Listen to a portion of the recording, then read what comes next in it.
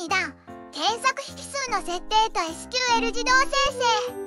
まず前回のおさらいをするにゃ。検索引数という検索する条件を自由に設定できる引数について学んだにゃ。今回学ぶのは検索引数の活用と SQL 自動生成だにゃ。ある日プログラマー子が仕事をしていたにゃ。いやどんな名前だよ。そしたら同僚からチャットが来て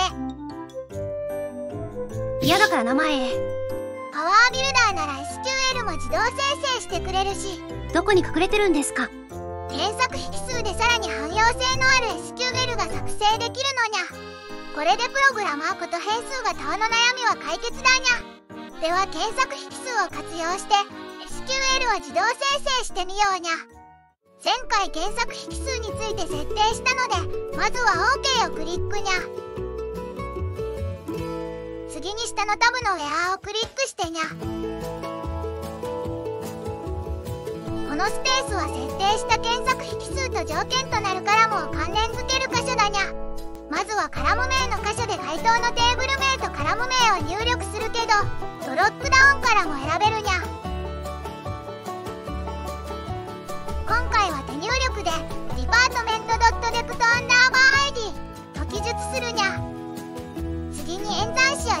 して設定した検索引数。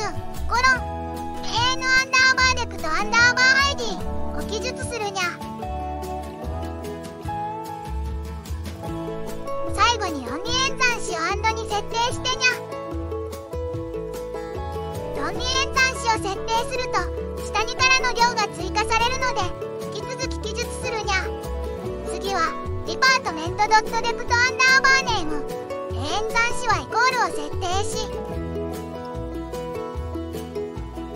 値を検索引数のコロン AS アンダーバーデプトアンダーバーネームを設定し論理演算子をアンドに設定するにゃ。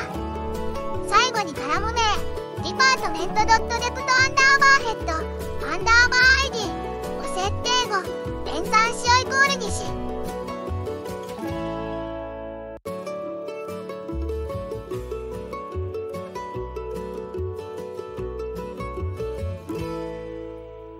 値に。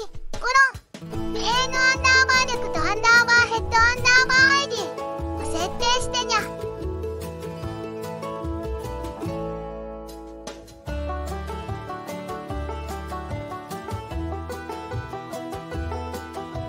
設定後下のシンタックスタブから SQL を確認できるけど。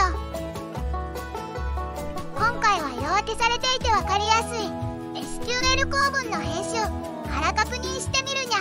メニュータブのデザイン SQL 構文の編集。え SQL の編集画面に切り替わるのにゃ。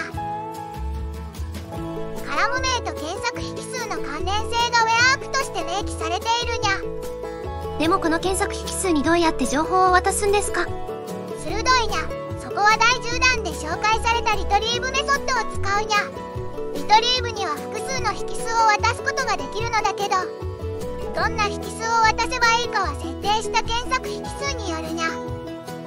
先ほど設定した検索引数はコロン AN アンダーバーデクトアンダーバー ID コロン AS アンダーバーデクトアンダーバーネームコロン AN アンダーバーデクトアンダーバーヘッドアンダーバー ID の順で指定したので上の例のようにその順番通りにリトリーブメソッドに引数を渡せば OK だにゃ。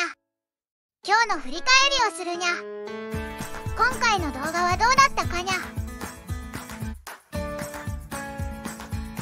2つのポイントを忘れず覚えてにゃ。次回も引き続き解説していくのでお楽しみに。